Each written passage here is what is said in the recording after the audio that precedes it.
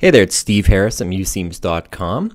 We have a new widget ready to go called the Countdown Clock widget. And this is going to be a really fast video because this widget is really simple and we left it simple for, for a reason. We thought that the widget, uh, and we've seen a couple of these out on the web already, um, they're usually overdone. There's so many elements to them that you're really locked into styling and you're locked into this certain look. And so we wanted to create a Countdown Clock widget that basically just gave you the clock and you could do anything else you wanted with it or around it directly in Muse. So you can see we have this example here up on screen and we have this kind of really tasteful and simple countdown clock and it has days, hours, minutes and seconds and you can see that there's these little lines to the side and so what it's pointing out here is that the numbers um, that's counting down here is the widget and then the text below it's just text that we made in Muse and we just positioned it underneath the widget. So that's kind of what I mean about uh, the widget could actually pull these in but why bother? So this is another setting too that we have um, included in the widget, which is called the days only setting. So this would be, you know, if you wanted to count down only the days until your event, or in this case, until the opening, you know, of a store or something like that. So it's a pretty cool little widget, and let me show you how we made these. So I'll jump back into Muse, and I have a totally blank page here, and we'll go into the library.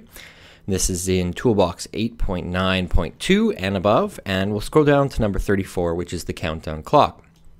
Drag it out on the page, and it loads a really nice preview. This uh, this widget is one of the few unfortunate where um, it, it loads a nice preview in Muse and we can really see what we're doing. So the first thing that we'll do here is let's just look through the, the uh, panel in the widget. So very uh, limited options as you can see, but you, you really have all that you would ever need. So you have the event year, the event month, the event day. So of course use that to set your specific event. So let's say we have an event coming up on October 1st, which is the 10th month. And you know what, let's just set the day to the 15th, something like that. Okay. So you can see that the widget is automatically adjusting here. Now we have the ability to set some letter spacing. For some reason in Muse, when you go up to this text panel with the widget selected, it likes to lock you out of the tracking controls. And I always uh, I always adjust the tracking on almost everything I do. So that's why I build it into these widgets. So we have the ability to space these letters out a little bit. So let's just select uh, three pixels and you'll see that they spread out a little bit. Now the last thing is we have the time format. So this is where you can be very specific about how you want to display this widget. We could do something like total seconds. And if I select that, you'll see what happens.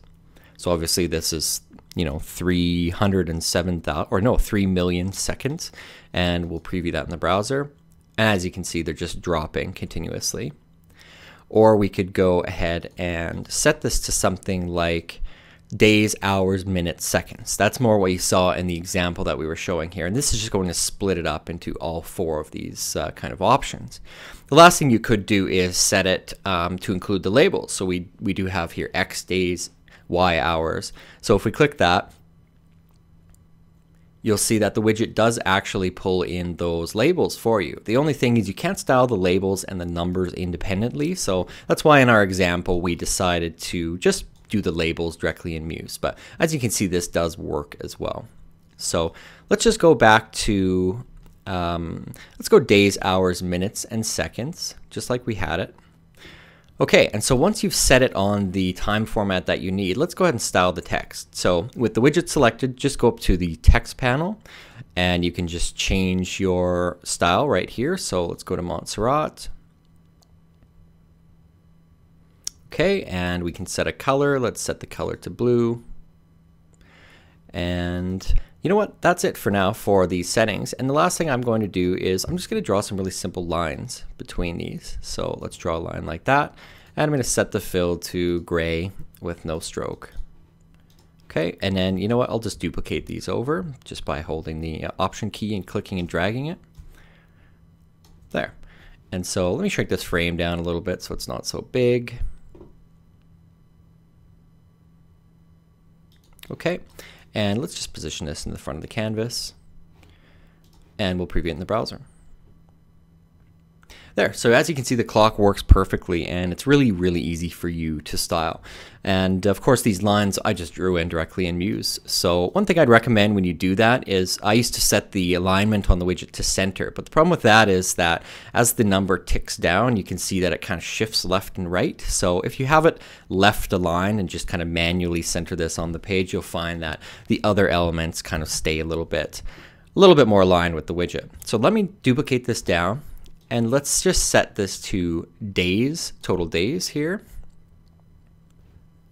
So obviously we have 30 di 35 days until the event, and I'm going to scale the frame down again on this one so that it's nice and tight. And then we'll just do as I did in the example here. I had days until, actually I just had days like that. Oops. And we'll go to Montserrat. And I'll bring the size up here to something like 20. Yeah, something bigger. 35 perhaps. Okay. And then I just did positioned or duplicated the text down below saying until opening. So we have 35 days and then we'll set this until opening. Just like that. So as you can see, you don't really need to do much design work within the widget itself. Just keep all your design directly in Muse anyway and just kind of work around the widget. So let me just up the uh, tracking here a little bit on this so it extends out. We'll change the color. There.